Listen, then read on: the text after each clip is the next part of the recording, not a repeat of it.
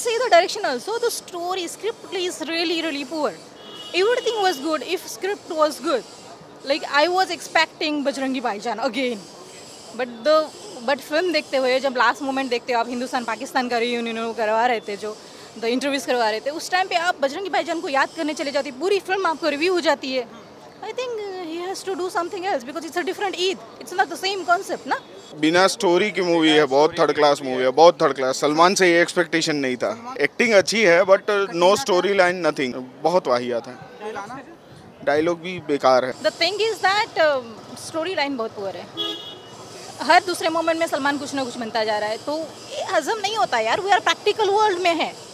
Like like, उसकी study नहीं दिखाई। They are like they are उसने कोई स्टडी नहीं की है सलमान ने। बचपन से उसको ऐसा दिखाया कि लेबर वर्क कर रहा है। Suddenly you are becoming any sir बिना स्टोरी की मूवी है जिसमें ज़बरदस्ती घसीटा गया है पूरी पिक्चर को सिर्फ़ सलमान खान की एक्टिंग या सुनील ग्रोवर की एक्टिंग कह लें सलमान खान की एक्टिंग भी नहीं।